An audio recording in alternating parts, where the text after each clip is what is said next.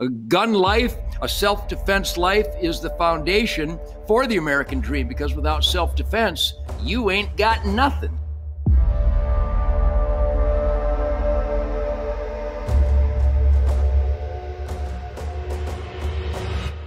Hey folks, it's Kevin Michalowski again here, editor of Concealed Carry Magazine and director of content for the United States Concealed Carry Association. And I have a very special guest this time, somebody who needs no inter interruption. Somebody needs no introduction. I just know he's going to interrupt me sooner or later. He's got a lot to say. This is a man who defends truth, justice, and the American way. The Motor City madman himself, Ted Nugent. Ted, thanks for being here. My pleasure, Kevin. God bless you. God bless America. And God bless the people who uh, cherish and perform their spiritual, intellectual, and American patriotic duties of self defense. I'm so proud to share this campfire with you. Ted, I just want to start in by telling a story to all the folks here before we get going on this whole interview thing that, that you changed my life back in 1995. So wow. we were together. We were together in 95, the first time we ever met at the Governor's Symposium for North American Hunting Heritage in beautiful Green Bay, Wisconsin. Ah, and, yeah. Uh, and and uh, you were the keynote speaker, and afterwards you put your hand on my shoulder and you said, Kevin, well, you knew my name because I was wearing a name tag and you said, Kevin, you need to be bold. You need to rise above the noise in this industry, and you will get nowhere unless you be bold. And that was 1995. I quit my job in the liberal daily newspaper business, and by 1997, I was working at Gun Digest magazine, and I decided that guns were the things for me because Ted Nugent told me to be bold. So I am here talking to you because of you. And thank you very much. I think about that all the time when I'm doing crazy stuff on camera. So thank you very, very much. I, I, I can't thank you enough for just those words of, of support. Well, you know, Kevin, uh, I'm, I'm moved by those words and that scenario that you uh, just laid out for us. But you know, that was not that long ago. I, I imagine in your young life it was a long time ago, but I'm going to be 72 years old here in a few days. And that encounter that you experienced with me is my modus operandi since I was about 18 years old because I, I landed head first into the uh, hippie, well, actually it was the beatnik world of uh, music and rock and roll.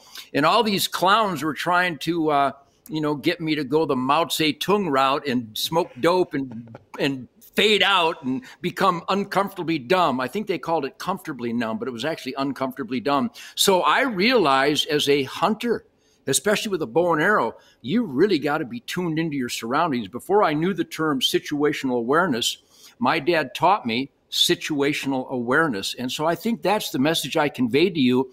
And Kevin, I'm glad that we had that encounter. I'm more glad than you are because if we really examine my vapor trail in my American dream for the last at least 65 years, I've been a hell raiser, a truth, logic, common sense crowbar you know perpetrator all my life because I saw the status quo was just infested with imbeciles and their policies and their dreams and their fantasies were the foundation of every societal ruination in the history of mankind. So, a gun life, a self defense life is the foundation for the American dream because without self defense, you ain't got nothing. So I, we are blood brothers for that truth, logic, and common sense, Kevin. Thank you for that. Absolutely. Hey, is there one element, is there one thing that created Ted Nugent the activist? Is there is there one pivotal moment, you know, where where you thought, you know what, Th- these people are crazy and I have to speak up? What is it that pushed you forward to do this?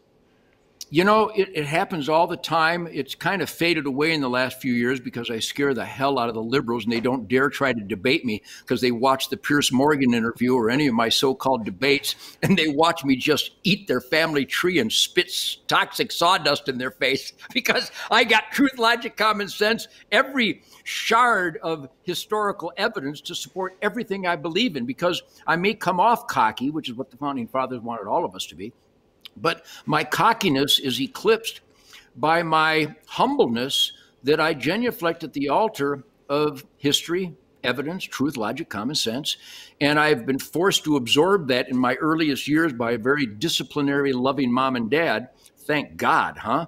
So I could name thousands of examples where I was, and not just uh, uh, countered or or or, uh, or questioned or or uh, uh, belittled. I was viciously attacked because I ate venison and I carried a gun. Two of the most perfect things a human being can do, by the way. And I knew it even as a kid in the teenage rock and roll world when the music industry, the Hollywood dirtbags, would attack me for celebrating that my energy and my piss and vinegar and my aliveness came from a weekend bow hunting with my dad. And they go, well, You don't kill animals, do you? And I go, No, I eat them alive. What kind of question is that? Are you, are you kidding me? You, never heard of cordon bleu or sushi, you dirtbag? So I, being a Detroit cocky guy, I was able to immediately respond with uh, more outrage than they uh, perceived their attack to be. And then in, over the years, it continued to escalate where I go, of, co- of course I carry a gun. I, I carry a gun and a clean handkerchief and a pocket knife, and I got a little flashlight, and I got some guitar picks, and I got my wallet with some ID and a few bucks in it, and a driver's license. I, uh, stop me when I confuse you. So yeah, I, I was raised, yeah, I was raised to be self-sufficient and a Boy Scout to always be prepared. And when I was a, when I was just viciously just bombarded with hate because I carried a gun. And, and they, they didn't just discover it happenstance. A lot of times I talk about where my guitar maneuvers come from, not just Chuck Berry and Bo Diddley, but uh, Colonel Cooper and uh, and uh, aim small, miss small snipers that I got to train with as a kid. And that higher level of physics of spirituality of the marksmanship discipline and the mystical flight of the arrow discipline, that goes right to any and all endeavors in life, especially guitar playing and musical communication with these incredible virtuosos that I've been surrounded with all my life. So as they attacked me, I, I went, why, I see the Guns of Autumn by Dan Rather on CBS, where they manipulated nasty footage in slow motion and lies about hunting. Hunting is perfect. Conservation is perfect. It's perfect responsibility of balancing the herd every year during Thanksgiving period to make room for next year's wildlife production. Even guitar players can figure that stuff out. So as they would attack me for the guns and hunting, and because I'm anti-dope, I don't think comfortably numb benefits anybody. I don't want my babysitter comfortably numb. I don't want my kid's school bus driver comfortably numb. I don't want my bass player comfortably numb. I don't I don't want anybody in my life comfortably numb except comedians. I hope they're stoned and drunk as long as they call for a a, a driver to get them home. I love my comedians to be completely brain dead because they're more funny that way. My point being is that I saw the attacks on what I knew was a perfect intellectual responsibility of self self sufficiency, self defense, and again the the joys of marksmanship, the joys of shooting, the discipline of hand-eye coordination, breathing, sight acquisition, trigger, uh, memory, you know, control. All this stuff goes to making you a better welder, a better parent, a better bandmate, a better a better everything. So those shooting sports disciplines were so powerfully positive in my life that when i was attacked for them typically kevin by drooling idiots hi and I, I go not only is my shooting sports cool but you're drooling and there's boogers coming out of your nose because you're comfortably numb you numb nut so i, I responded uh, as i knew i should to stand up never defending always celebrating and promoting these self evident truths. Mm-hmm. You said we'll turn this back to the things that I do now. You know, the, the concealed carry, the carrying a gun. I don't know if you know this. I see you got the blue line flag in the back. I'm also a police officer. So um, you said you carry a gun. Everyone's asking, and, and we put out a bunch of notes, and, and people have asked us questions. What do you carry every day, Ted? What's your everyday carry rig? What's your favorite self defense pistol?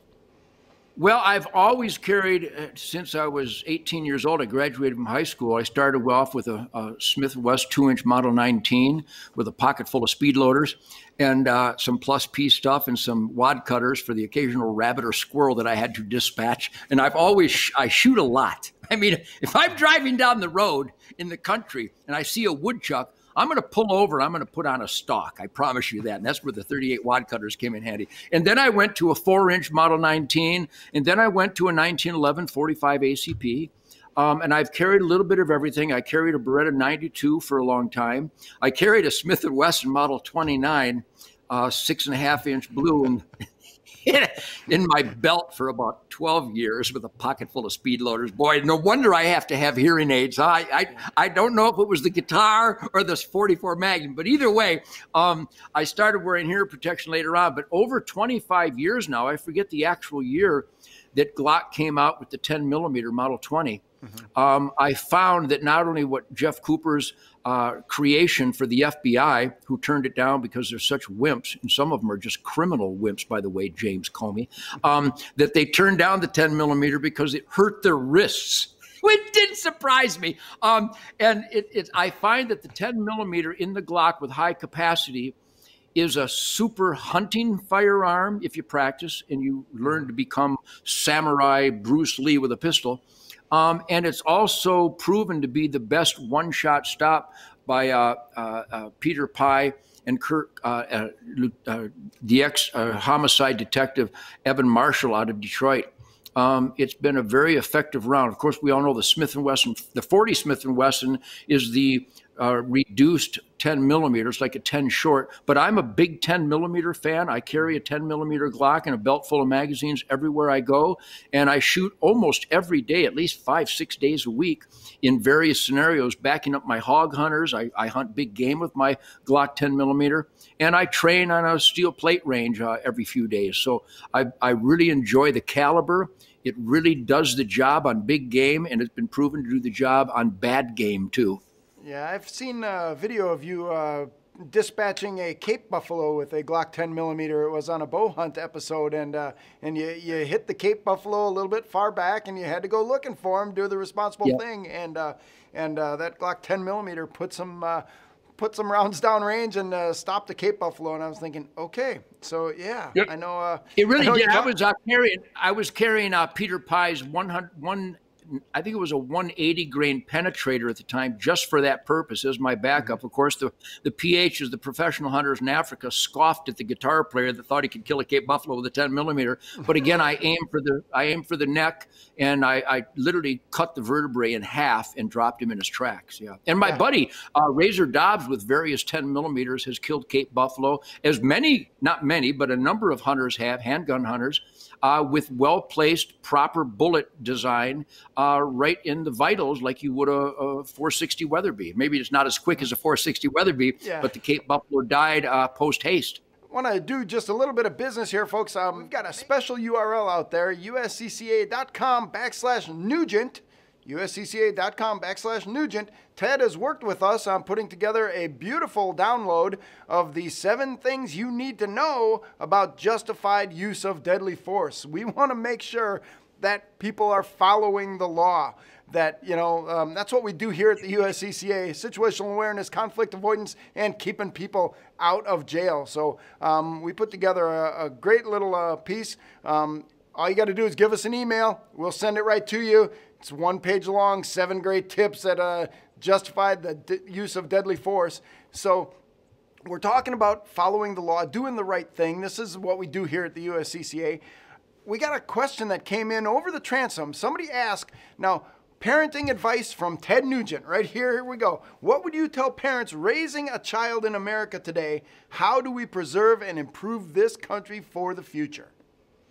You know, Kevin, I, am I'm, I'm honored that anybody would uh, pursue a parental advice, parenting advice from the Motor City Madman. But even though it seems to be um, a, a, slate uh, uh, uh, uh, opposite, I promise you, if you met my sons and daughters, if you met my grandsons, and if the world operated like the Nugent family operated, it would be a beautiful, crime free, welfare free, healthy, giving, loving, generous, cocky, fun, uh, positive world. Because my kids, my grandkids, the way we've raised them is a is a confluence of hardcore snuggling, mushy love and hardcore demanding discipline about being the best that you can be, about um, always putting your heart and soul into being in the asset column at the end of the day Was your conduct, your activities, and your productivity and work ethic, did it translate into putting you into the asset column of your family?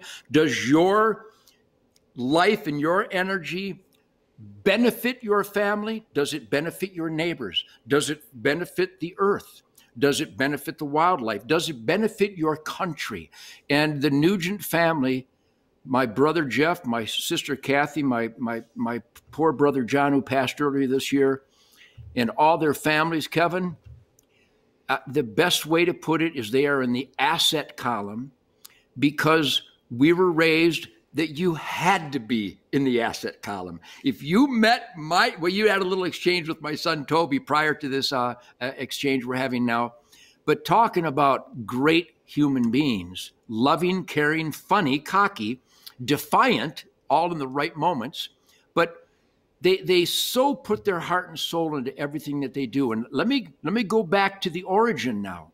And it's not a coincidence that I'm on here, with Kevin, at the United States Concealed Carry Association, because I've always been a gun guy, first and foremost, because it's fun.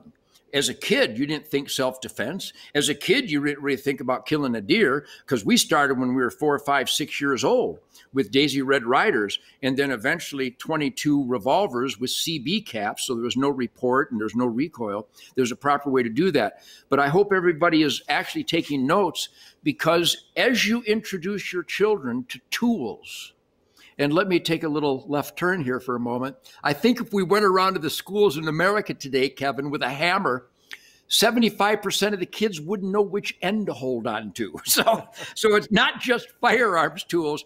A kid should learn how to wash dishes and sweep the floor and vacuum. They should learn how to make the bed and to take out the trash. They should learn how to shovel the dog kennels and brush the dogs. This this system of individual responsibility, boy, there's the battle cry. Individual accountability must be imprinted very, very early, two, three, four years old. And my grandkids are on the way here to the swamps of Michigan right now. And I think Rowan is just four.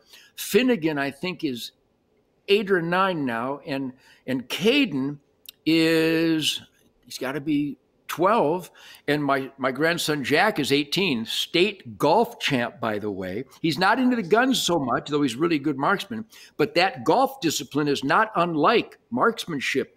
Hand eye spirit coordination focus laser beam tractor beam to the given dimple on the ball like the crosshair settling on the on the uh, the the minutest center of the x. So parenting can be ultimately accomplished via all the things i just mentioned chore responsibility polite responsible conduct but ultimately applied on the shooting bench at the gun range at an early age because there's only one go- there's only one gun law needed for mankind. Only one gun law needed for mankind. I emphasize that. And that is never point the muzzle at anything you're not willing to destroy. That's the only gun law we need on planet earth. And once you imprint that in the children and if they look like they're going to sway and violate that primary gun rule then you immediately parent them and discipline and let them know and shoot a, a can of tomato juice with a high velocity bullet and let them know that that could happen to your head. That could happen to your friend if the muzzle's pointed towards something you're not willing to destroy. So these are the basics. And again, I'm just a guitar player, but I was raised like that in that uh, incremental uh, uh, parental discipline uh, uh, uh, accountability. And that's how my kids are. And by the way, my band, my crew, everybody in my life, my hunting guides, my buddies, they all subscribed. This isn't a Ted Nugent hunch. I don't I don't really have an opinion on this. This works. And I'll tell you right now, not one of these rioting punks in Seattle or Portland or in Minneapolis, none of these anarchists or these arsonists or these murdering savage criminals, none of them were disciplined in the shooting sports. I can assure you. None of them had a hunting license in their pocket as they burnt down the city. So there's a disciplined, God, family, country, law, and order lifestyle that you and I, and I think everybody at USCCA represents. I'm proud. I'm very proud of that. Yeah, and I think you're absolutely right. When we're talking about individual personal responsibility, that's one of the things we really preach here at USCCA is that, you know, we're the good guys. If we're involved in a deadly force incident and we have to shoot a bad guy, God forbid, we stand around and wait for the police to come. That's why we want to make sure that people are doing it right. They have the laws memorized. They know what they need to do before they get out there. And and honestly, folks, you can get that information uscca.com slash nugent go right there download that the seven rules for justifying the use of deadly force we've got that right out there so we want to make sure that that everybody's doing the right thing because you know we're the good guys, and we can prove it by knowing the laws, following the laws, and, and doing what we're supposed to do. So um, we, we got another uh, question that came in from one of our viewers, and, and this one is actually kind of makes me smile just a little bit. It's uh, Ted, how much ammo do you have, and how much ammo should the average red-blooded American keep and store at home? well, to the first question, none of your damn business. Um, to go. the second question, I, Kevin, I wish I could turn this camera around. You know, you've heard that guys like to have a man cave. You've heard about yeah. man caves. Yeah. Well, mine actually qualifies as a man's cuckoo's nest. I there have so many bows and arrows. I have so many guns. I have so much ammo that it borders it, it borderline spooky to the average civilian. Um, but I shoot a lot. I go through a lot of ammo when my grandkids and my daughter Sasha, the whole family, we're all getting together. My band's coming for the opening day of the Michigan firearm season, and it's going to be a shoot fest. And by the way, when you have full auto stuff, you better have a lot of ammo because the brass rainbows tend to accumulate a whole lot of bullet use. Uh, I would say in this day and age, even uh, before there was the societal upheaval and the Marxist uh, uh, taking over the Democrat Party and the threats being just treacherous and heartbreaking like they are today. This is a whole new brave world right now. Before any of that happened, I always had thousands of each caliber, and I could go right down the list from 22s to 38s to 357s to 9 millimeters and some 38 special, I mean 38 super stuff uh, 44 specials, 44 Magnum, 45 70s. I got two four, a lot of 223. I got a couple hundred thousand rounds of uh, 223, and uh, um, I got a lot of 308, and, and got a lot of uh, uh, uh, uh, seven mag. I got a lot of 270, some 280, 300 winter short, short mag. I got a bunch of 460 Weatherby stuff. Uh, so I have a lot of ammo. I would say that because we see the Democrats, I, I, I'm sorry, the Marxists, literally telling the sheepdogs to back off the wolves and allow the sheep to become victims. Now that that uh, demonic policy exists, I, it, it, it just doesn't get more horrible than people with presumed authority telling the the professionals of law enforcement to not do their job and let the city burn, let people get bricked and two by four and stabbed and shot without intervening. Now that we know such an atrocity is happening, I would recommend that everybody have at least thousands of preferred thousands of rounds in their preferred caliber. Of course, the big deal is 45 ACP, 9 millimeter, 7.62 stuff, um, a, lot of 5.56. But I would venture to say a lot of my friends have them in the tens of thousands, and I have friends that have them in the hundreds of thousands. Um, I think it's like the what I consider the battle cry of independence is nobody's ever said I have too much ammo. Yeah, so absolutely. I, I think uh, a, responsible individual would have plenty to hold down the fort. We just did an interview with the great Mark Geist, who was on the rooftop in Benghazi, and uh, I get to train with these heroes of the U.S. Marine Corps. Which, by the way, happy Veterans Day every day, happy Marine Corps birthday every day. Happy Independence Day every day. Happy Thanksgiving every day. But I get to hang and train with these guys the Navy SEALs, the Green Berets, the Army Rangers, uh, SWAT teams from around the country. Uh, I'm just the luckiest guitar player shooter in the world because I get to hang with the, the, the, the best of the best.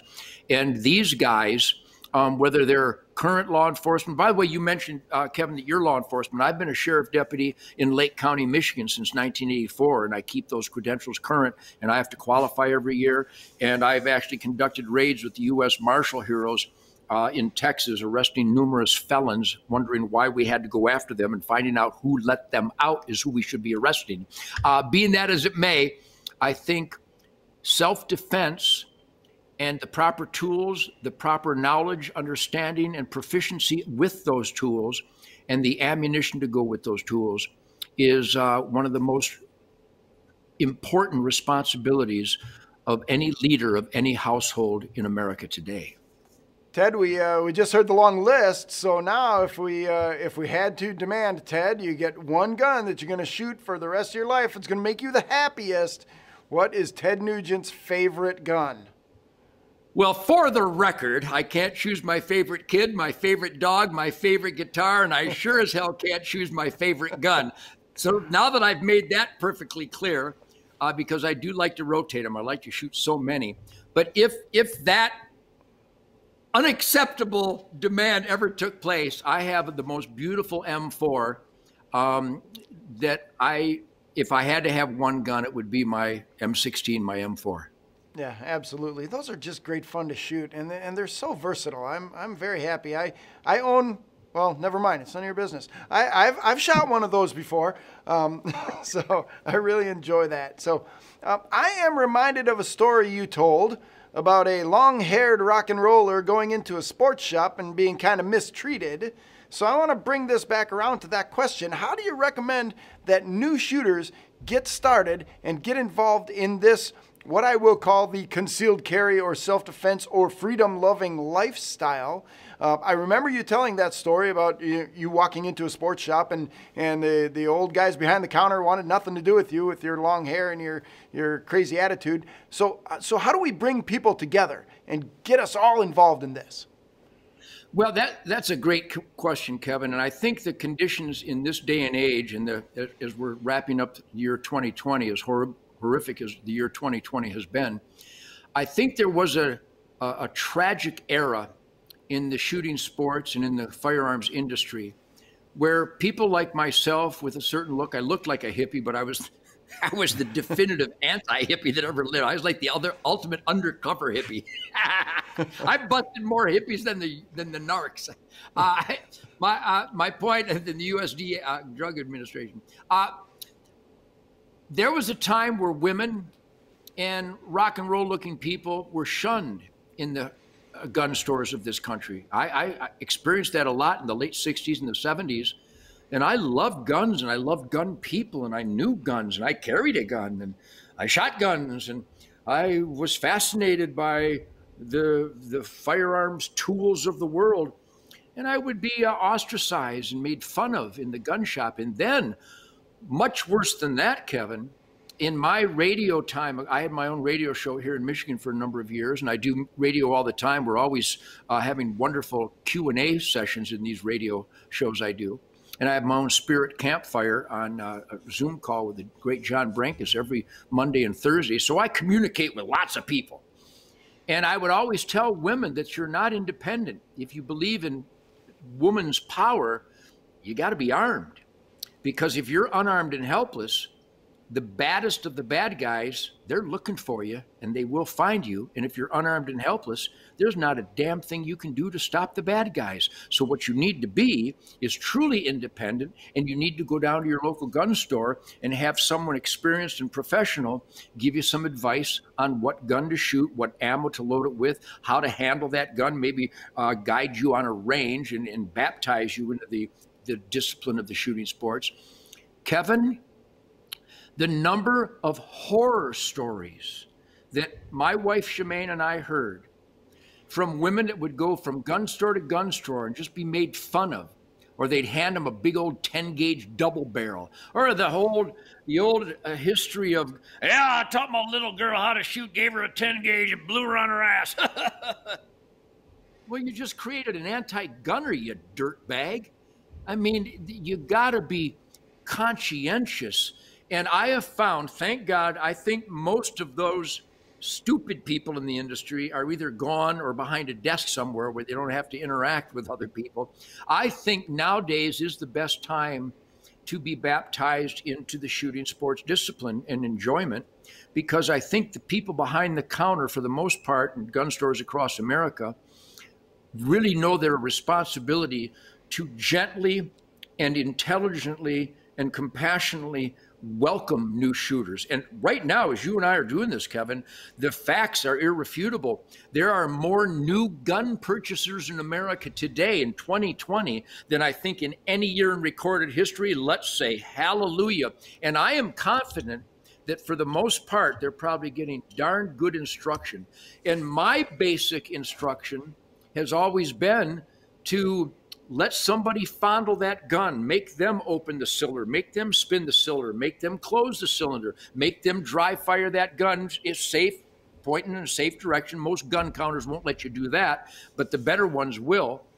And I think that we have grown up and become more sophisticated and intelligent that that new shooter is the most important gun owner in America.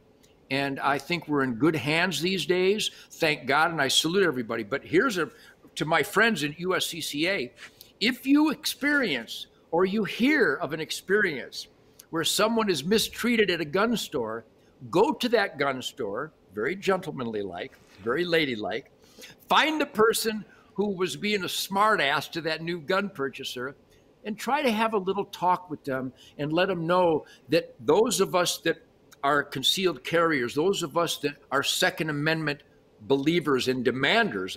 You can't just believe in the Second Amendment, you have to demand the Second Amendment. You need to put your arm around that guy. You know, friend, you're at a gun store, you represent me. And when somebody comes in to buy their first gun, you need to be the most loving, caring, attentive, introductory person to that new shooter. And I always say they should start with a revolver, something very mechanical, where you load the cylinder, you close the cylinder, you lock the cylinder, you double action, single action, and you know the mechanics because your first shooters typically are going to be limp wristed and you want to get them a 32 or a 380 and those are the first ones that are going to jam because of the list mm-hmm. the, the limp wrist syndrome of a new shooter whereas a revolver will not jam so there's a lot of little tricks and i'm not the master wait a minute, I actually am the master of that because I've introduced more more young people uh, to the shooting sports than maybe anybody that ever lived. That, I'm not bragging, but I've had a Ted Nugent Camp for Kids charity for 31 years,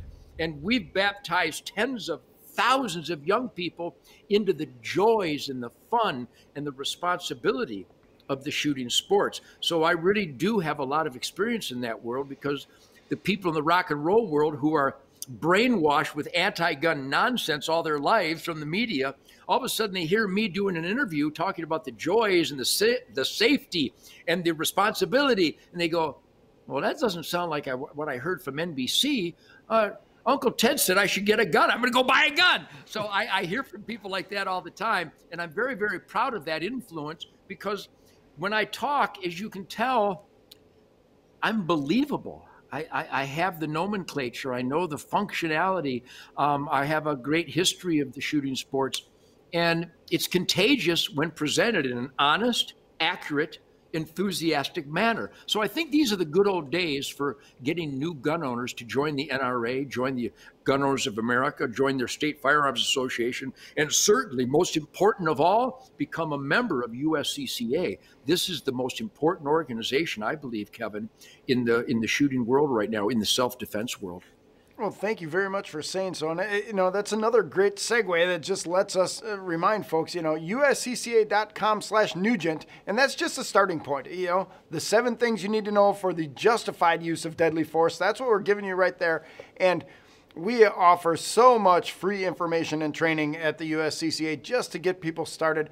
I want everybody in America carrying a gun. You know, people have told me 100 million gun owners in America. Yeah, I want all the rest. There, there's you know 400 million people in the country. Um, I want them all carrying a gun. And right back to your point of individual personal responsibility.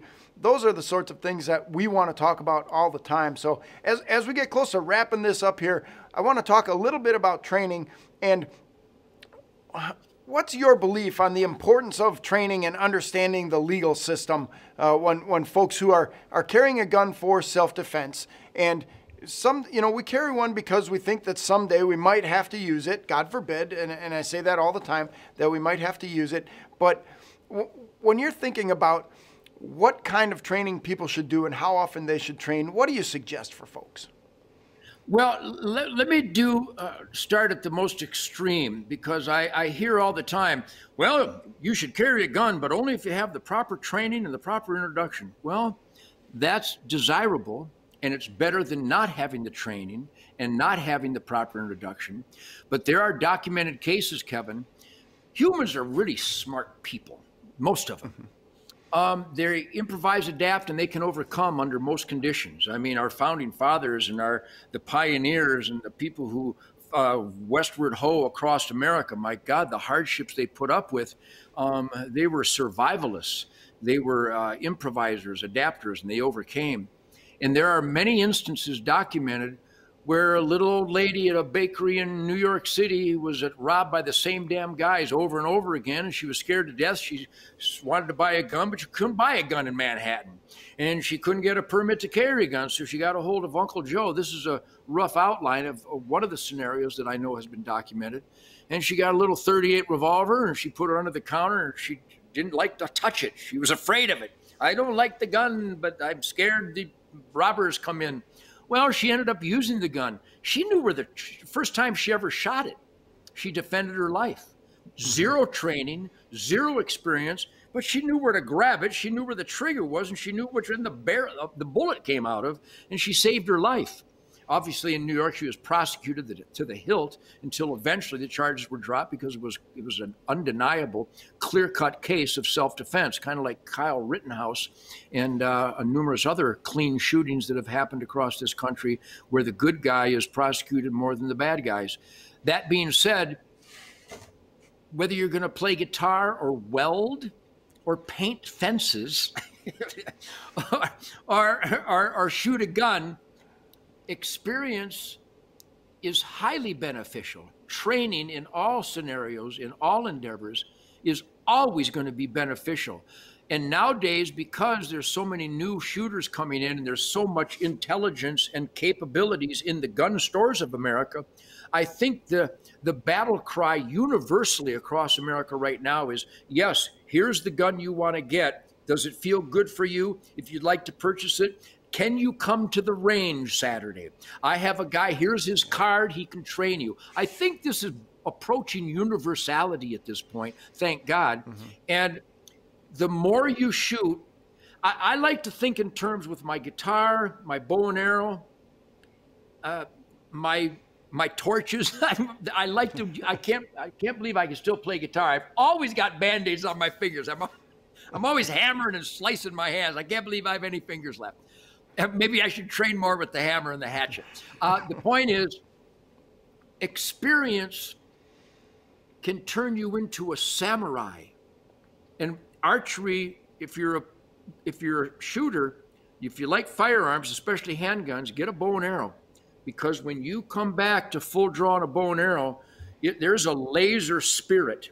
You become one with the path of your mystical flight of the arrow, and all the best shooters in the world and I'm not one of them, but all these masters, um, Rob Leatham, and I could name so many, when they come up, there's a samurai thing happening. That you watch how fast they can knock down steel plates. I'm lucky if I can shoot a gun into the ground that fast. And these guys yeah. are knocking down steel plates. And I go, I don't even know if I could pull the trigger that fast, much less hit something. Um, so training, I wouldn't put it as a mandatory because I don't mm-hmm. like anybody else mandating anybody else's responsibilities.